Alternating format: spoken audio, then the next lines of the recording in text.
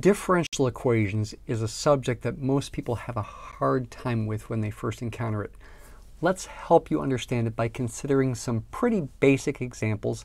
We will also look at some applications to motion. Number one says in part A, first find what's called a general solution of this differential equation.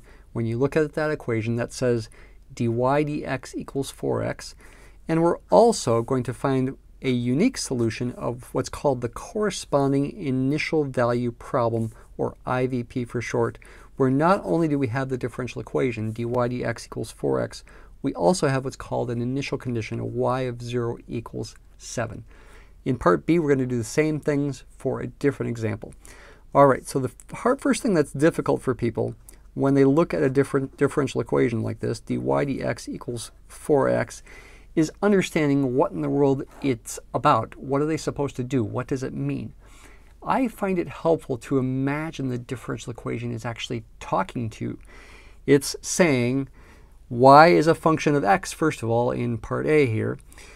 It's a function whose derivative, dy dx, is always equal to 4x. That's just an indefinite integral problem, an antiderivative. If the right-hand side were more complicated, perhaps involving both x and y, the independent and dependent variables, then it becomes a harder question. But for the right-hand side only depending on the independent variable, it's fairly simple. We're seeking a function that is an antiderivative of 4x. So to find it, we do an indefinite integral. We do an indefinite integral initially because we are after a general solution all possible functions that solve the differential equation. This is easy enough of an indefinite integral that you can do it pretty quickly without any fancy techniques. 2x squared plus c, by a little bit of experimentation, is seen to be a general solution. y equals 2x squared plus c. This represents infinitely many functions, one function for each of the infinitely many possible values of c. You can always check that this satisfies the differential equation its derivative with respect to x is always, no matter what c is, 4x plus 0, or just 4x. It satisfies the differential equation.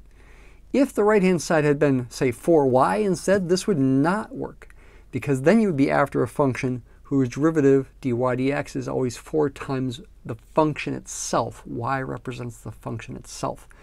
And well, I'll give you a hint that that's an exponential function, but that's not one of our topics for this particular video. I'll let you think about that if you want. You should also realize that differential equations often have different notation. This is called Leibniz notation.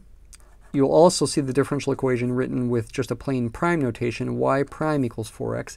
It's understood when you write this that y is a function of whatever the independent variable is, in this case x. So once again, it can be solved by direct integration, and you get the same answer. It probably would be less confusing if the differential equation was written with function notation, say as f prime of x equals 4x, and then when you integrate, you'd be finding f of x. That would be fine, and probably less confusing, but it's not traditional. It's more traditional to either use Leibniz notation or just a plain prime notation with no function f that's specified. So let's now also solve this initial value problem where we add this initial condition, y of 0 equals 7. What does this mean? It's understood that when I use parentheses like this, it's kind of like function notation y is represent it's kind of abusive notation actually. y is representing both the dependent variable and the function name here. It's saying y of 0, when x is 0, you get an output of 7. So that means you need to replace in the general solution y with 7 and x with 0 to help you solve for c. Of course, 0 squared is 0, 2 times 0 is 0, 0 plus c is c. Therefore, this is saying c must be 7, the same as the initial value of y. That's happening here in part A. It actually won't happen in part B, that c equals the same thing as the initial value of y. But it does here. So our unique solution of the initial value problem takes the general solution and replaces c, in this case with 7, to get y equals 2x squared plus 7. This function has a derivative always equal to 4x, and when x is 0, the output of this function is 7. so it satisfies the initial value problem. Again, general solution represents infinitely many functions. Unique solution for an initial value problem represents just one function. Let's go on to part B. The first thing you notice in part B is that the independent variable name has changed from x to t. Is that okay? Sure, it's fine. Which variable should be used in general? It kind of depends on your application. If your independent variable represents, say, a distance, it's probably better to use x. Not that you have to, but more traditional to use x. On the other hand, if your independent variable represents time, then it's more natural to use a t. Though again, you don't have to, technically speaking. So the differential equation is dy dt equals sine of t over 2. All right, the right-hand side just depends on the independent variable t. We're after a function whose derivative with respect to t is always equal to sine of t over 2. Once again, this is really a pure antiderivative problem. Again, if a y had been on the right side, it would be more complicated. There are techniques in special situations to solve such equations, but that's not our focus here. So just do an indefinite integral of sine of t over 2. That can be done by substitution. For example, you could let u equal t over 2. du would then be 1 half dt. dt would be 2 du. I won't bother. Through a little bit of guesswork, I just realized the answer is going to be negative 2 cosine of t over 2 plus c. Perhaps the most common mistake here is to forget that negative sign. The derivative of sine of t is cosine of t, but the derivative of cosine of t is negative sine of t because you have a positive sign of something here, you need a negative sign there. You also need the 2 to compensate for the fact that when you use the chain rule in differentiating this, you'll get an extra factor of 1 half. Check it on your own. You'll see that I'm right. The derivative of this is always equal to sine of t over 2. So there's a general solution. Y equals negative 2 cosine of t over 2 plus c, where c can be any constant. All functions like this solve the differential equation, and in fact, any solution to the differential equation also can be written in this form. Now we also, once again, solve the initial value problem. Now y of 0 equals negative 3. Replace uh, y with negative 3. This is saying when the input t is 0, the output y is negative 3. Replace t with 0, get negative 2 cosine of 0 over 2 plus c. 0 over 2 is 0. Cosine of 0 is 1, not 0. This becomes negative 2 plus c. Now c is not the same as the initial value, negative 3. When I solve for c by adding 2 to both sides, negative 3 plus 2 is negative 1. And the unique solution of the initial value problem then becomes negative 2 cosine of t over 2 minus 1. And indeed, when you plug in t equals 0, you get negative 2 times cosine of 0 is 1 is negative 2, minus 1 is negative 3.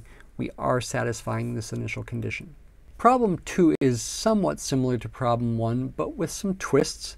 In part A, we are to show that this function of x is a solution of the initial value problem dy dx equals, first of all, 1 minus x in parentheses times e to the negative x, and initial condition y of 0 equals 2. Part B, we're doing something similar for a function involving sine. Notice in part B, the right-hand side doesn't depend on the independent variable t, it depends on the dependent variable y, so it's a little trickier. Let's start with part A. We're trying to show this is a solution. This solution could be found by integrating this function, but we're given this possibility so we don't actually have to do the integral, we just need to check that the derivative of this function always equals this. So go ahead and take the derivative of this. For x times e to the negative x, first we need the product rule. We will also need the chain rule. x times e to the negative x is a product. The first function or left function is x. The second function or right function is e to the negative x. The product rule can be imagined either as the derivative of the first times the second plus the first function times the derivative of the second, or if you prefer, left d right plus right d left, where d means derivative. Left x d right, the derivative of e to the negative x by the chain rule is e to the negative x times negative 1, right? Because the derivative of negative x is negative 1, plus right, e to the negative x, d left, the derivative of x is 1. That is the derivative of x e to the negative x. The derivative of 2 is 0. And pretty quickly we see by a little simplification and factoring out the common factor of e to the negative x that I will get 1 minus x times e to the negative x. I factored out the e to the negative x and I switch the order of these things. This negative 1 goes in front of the x. Negative 1 times x becomes minus x. And that is the same as the right-hand side. 1 minus x in parentheses times e to the negative x. We're done. We didn't have to actually do an integral. Now, if you were going to do an integral of this, you could do some guessing to get this ultimately, maybe with a plus c there, or at least for the general solution, or you might use integration by parts, but it would be a little tricky. So it's kind of nice to be told what the answer is ahead of time. We also want to satisfy the initial condition. We should check that as well. Plug x equals 0 into this equation. Get 0 times e to the negative 0 plus 2. e to the negative 0 is 1, but that doesn't matter because 0 times 1 is still 0. And yes, we are satisfying the initial condition when x is 0, y is 2. Part B, do the same kind of thing for y equals sine of 3t. Once again, I've gone to t as the independent variable. This initial value problem with this differential equation and that initial condition. There's also a little extra funny thing here. We're saying the interval specified is 0 to pi over 6. That seems kind of strange. Like, why would you have to do that? We will see why this is one good choice. It's not the only choice that could have been made for the interval. Let's see what happens. So what do I need to do? I need to first of all find the derivative of this proposed solution, dy dt. That's the left-hand side of the differential equation. The derivative of sine of 3t by the chain rule is positive 3 cosine of 3t. But wait a minute, that doesn't look like that, does it? Yeah, it doesn't. But that's because you're misunderstanding what you're supposed to do. You need to imagine the differential equation talking to you and saying, I'm after a function, dy is a function of t, whose derivative is always equal to 3 times the square root of 1 minus the function y squared, where the function y is a function of t ultimately, even though you don't see a t there. It's okay. This is the way this kind of thing is done. So we need to take that right-hand side, 3 times the square root of 1 minus y squared, and replace y with the proposed solution sine of 3t, like this. Of course, it's more traditional to write that square as sine squared 3t, but you do need to understand what's going on there. You are really taking sine of 3t first and then squaring it. And I hope this makes you want to use a trigonometric identity. Cos squared theta plus sine squared theta equals 1 no matter what theta is. So in particular, 1 minus sine squared theta always equals cos squared theta no matter what theta is. In particular, if theta is 3t. So this becomes 3 square root of cos squared theta is 3t, so I replace the input there by 3t. And now it's tempting to say, hey, the square root of cos squared 3t is cos 3t. Well, careful. It's really the absolute value of cos 3t. The square root of a number squared is not the number itself unless the number is greater than or equal to 0. But the number could be negative. So in general, you need absolute value signs. Check that with negative values of a. So in general, I need absolute value signs here. The cosine of 3t is playing the role of the a. Hmm, that's not quite the same as this because there's no absolute value signs up here. Oh, unless cosine of 3t happens to be non-negative in, in, value greater than or equal to 0, which will be true when t is between 0 and pi over 6. The cosine graph starts up at 1 and goes down to 0 when the input is pi over 2. Uh, t being pi over 6 will make this input 3 times t be pi over 2.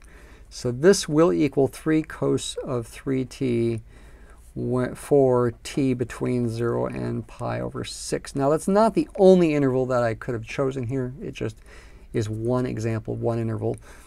So we have that the left-hand side, dy dt, simplifies to 3 cos 3t, and the right-hand side, 3 times square root of 1 minus y squared, when y gets replaced by the function, ultimately simplifies to cos of 3 times cos of 3t as well. This does satisfy the differential equation.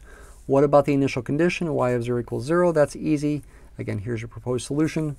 y of 0 is going to be sine of 3 times 0 sine of 0 is 0. It does satisfy this initial condition.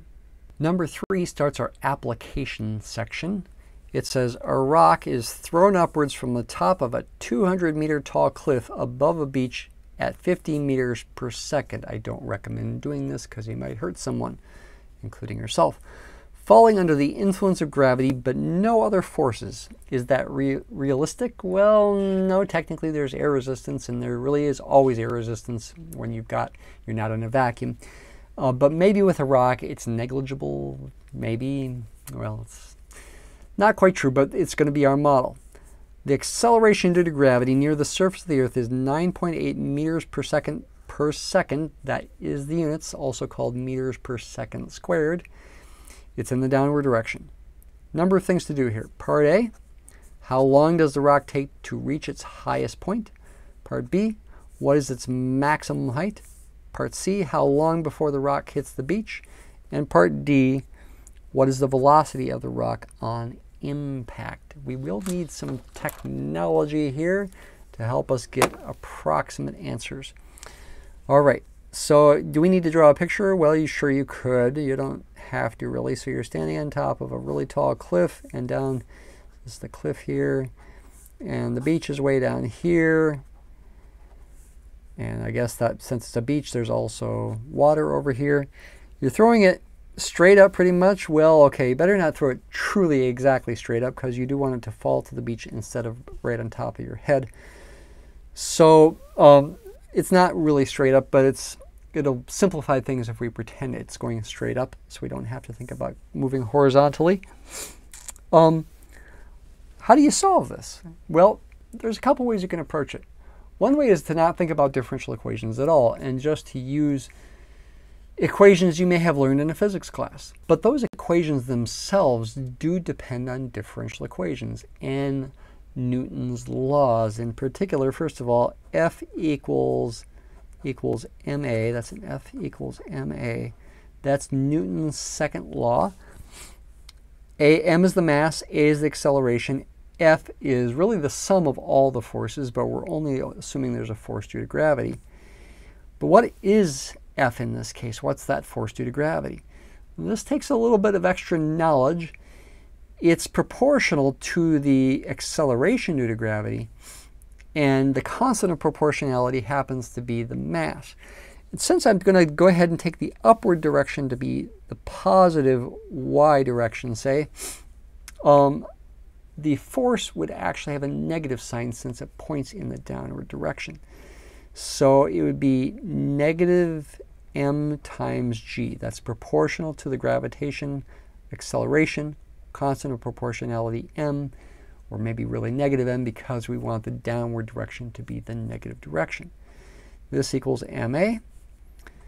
A is the acceleration. That is a derivative. That is the derivative of the velocity. It's also the second derivative of the height.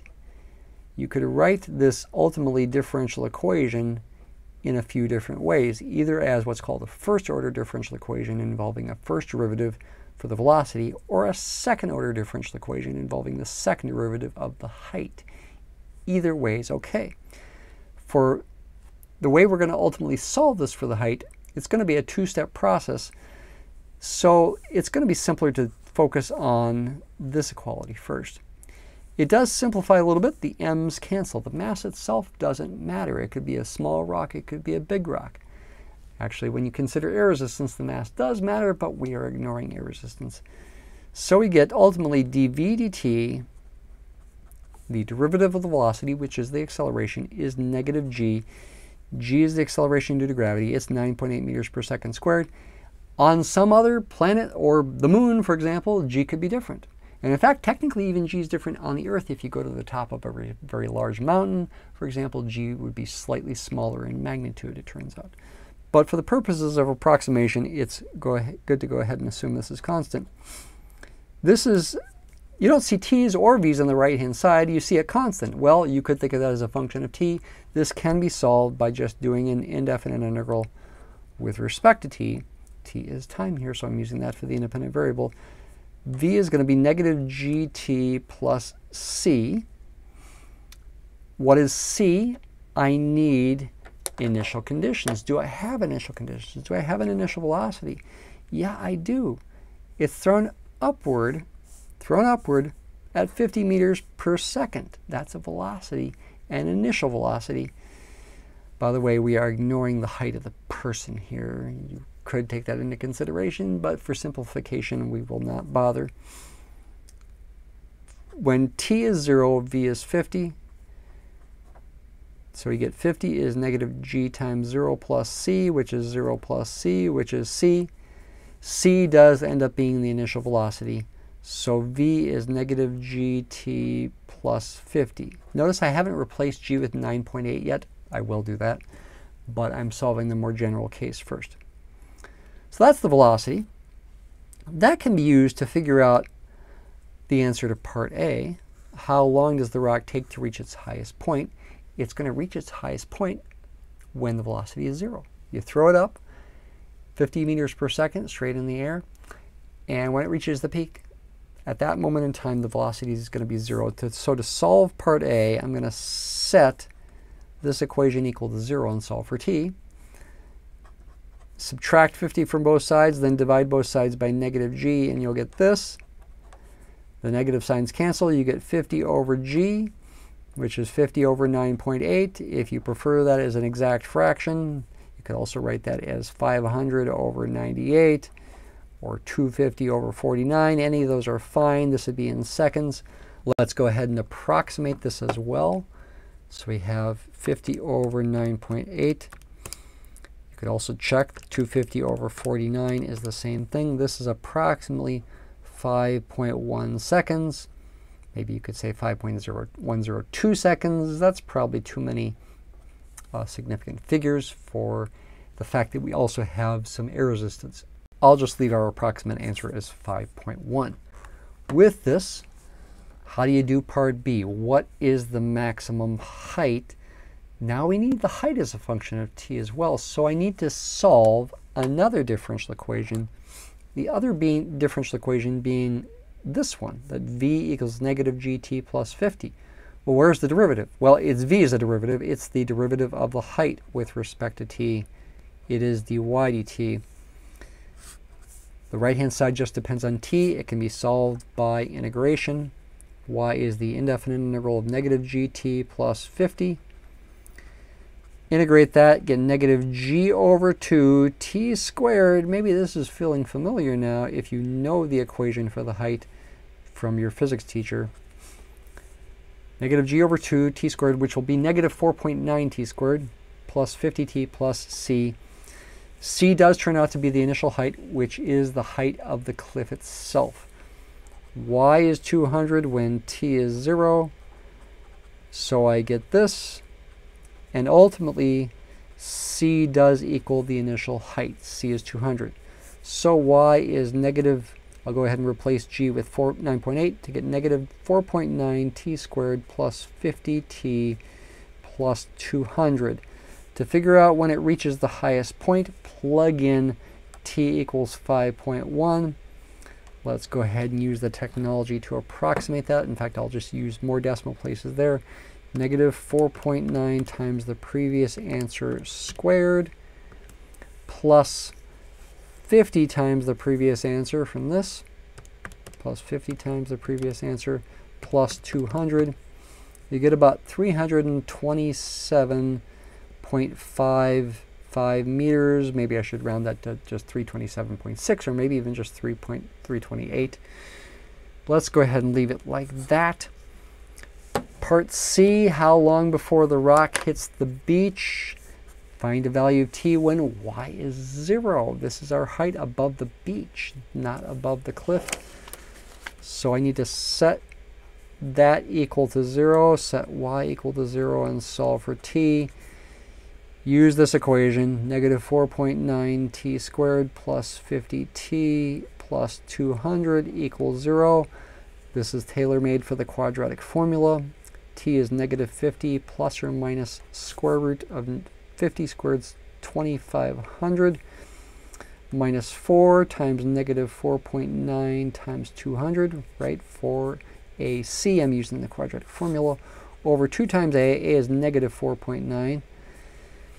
So you get negative 50 over negative 9.8, which you already know is 5.1. Uh, go ahead and put that in there. 5 point, positive 5.1 plus or minus uh, 1 over 9.8. The I could write minus or plus because that negative sign there, but it's the same thing anyway. Square root of what's all this? Use a technology again. 2500 ultimately plus, because the two negative signs cancel, plus 4 times 4.9 times 200, square root of 6420. That square root is approximately, raise it to the 0.5, the power 80.125, divide by 9.8, get about 8.2. So we get 5.1 plus or minus 8.2. Uh, one of those is negative, one's positive. We want the positive one. So add 5.1 to this. T is approximately 13.3 seconds for how long it takes to hit the ground. Right there. We're almost done. What is the velocity of the rock on impact? It's going downward, so it's technically a negative velocity at this particular moment in time v of 13.3, use the equation for the velocity, which is this, replacing g with 9.8 to get approximately negative 9.8 times 13.3 plus 50. I will go ahead and use more decimal places from the calculator. Negative 9.8 times previous answer plus 50 gives you negative about negative 80.1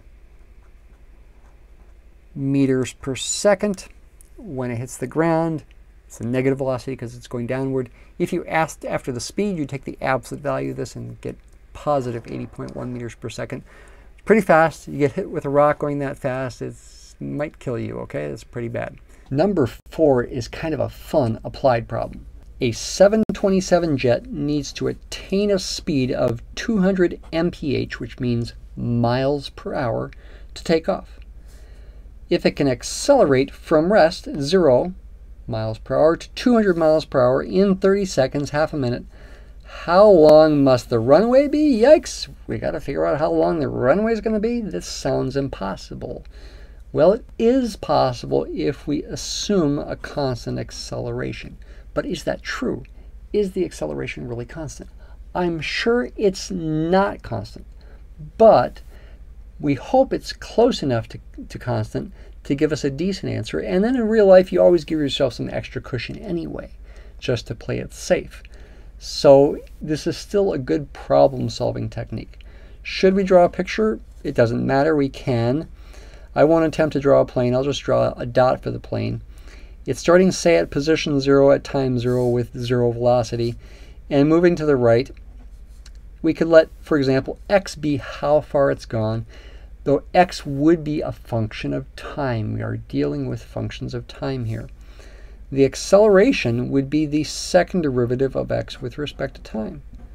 That, by definition, is the acceleration. It's also the first derivative of the velocity, because the velocity is the first derivative of the distance traveled.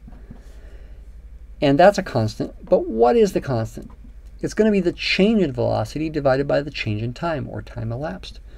200 minus 0 is 200 miles per hour, which I'll write like this, divided by 30 seconds elapsed.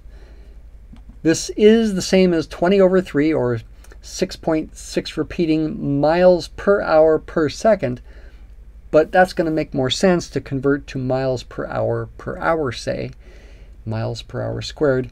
So I should convert 30 seconds to how many hours? It would be 1 120th of an of an hour, right? Because 60 seconds or 1 minute would be 1 60th of, of an hour. 30 seconds is half of that. 1 over 120 hours. Dividing by 1 over 120 is the same as multiplying by 120. 200 times 120 is 24,000 miles per hour per hour or miles per hour squared. That is our constant acceleration where the units are consistent as far as time being always an hour, so we get miles per hour squared here. And it's a differential equation. And we can integrate once to find the velocity. The velocity is going to be the integral of 24,000 dt. That'll be 24,000 t plus c. But we are starting from rest. v of 0 is 0. So we get 0 is 0 plus c is c, so c must be 0. In fact, v is 24,000 times t. Okay, so that's the velocity. How is this helpful? We need to figure out how far we're going to go before we reach a velocity of 200 miles per hour at t equals 1 120th of an hour.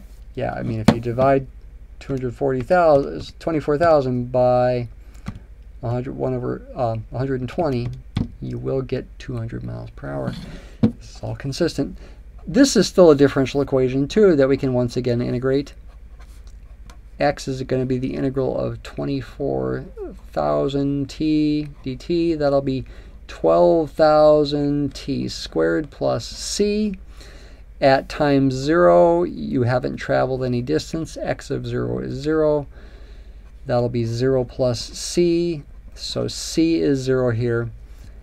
x is going to be 12,000 t squared.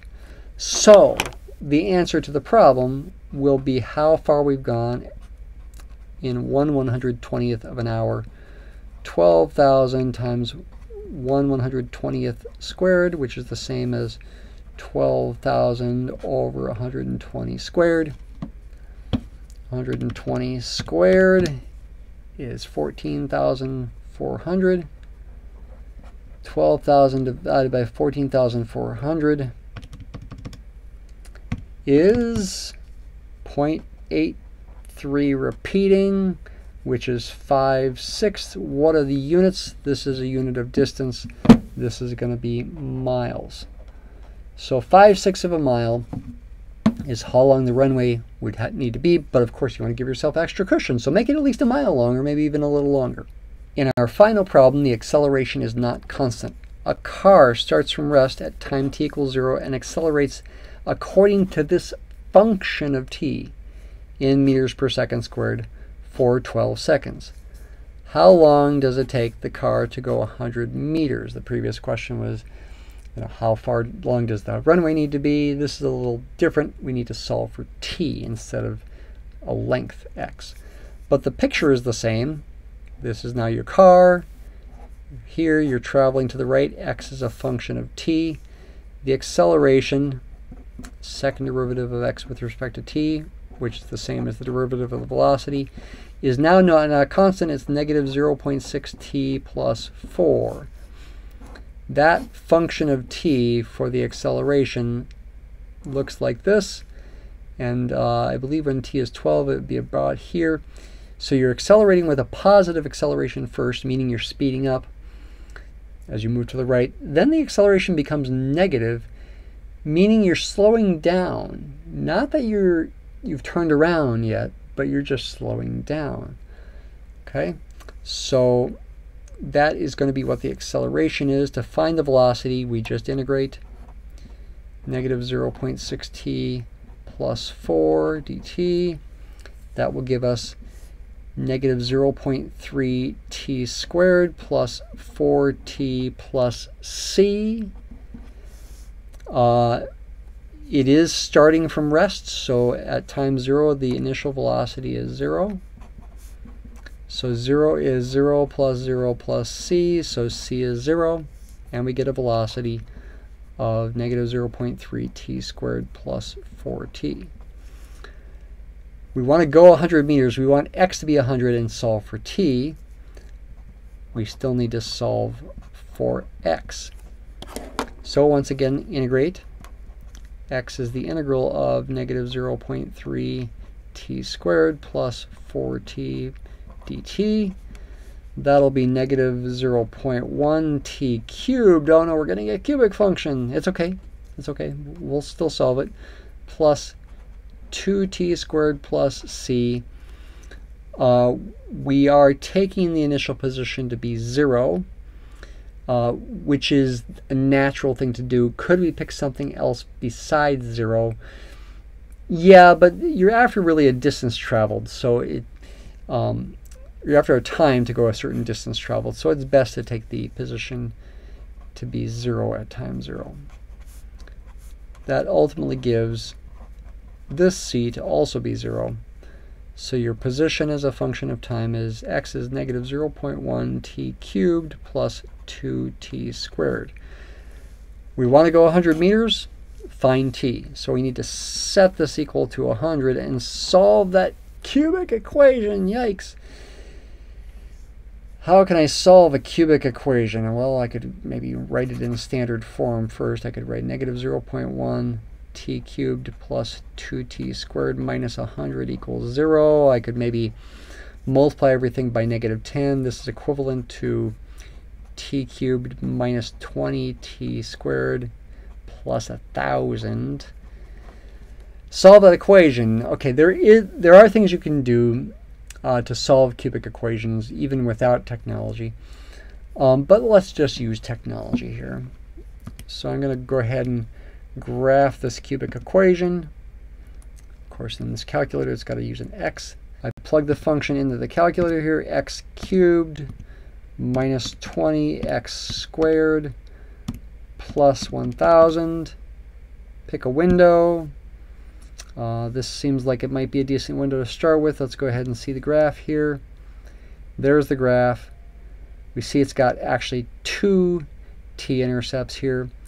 We would be after the first one uh, when t goes between 0 and 12. Let's go ahead and calculate that 0, left bound, and a right bound and a guess.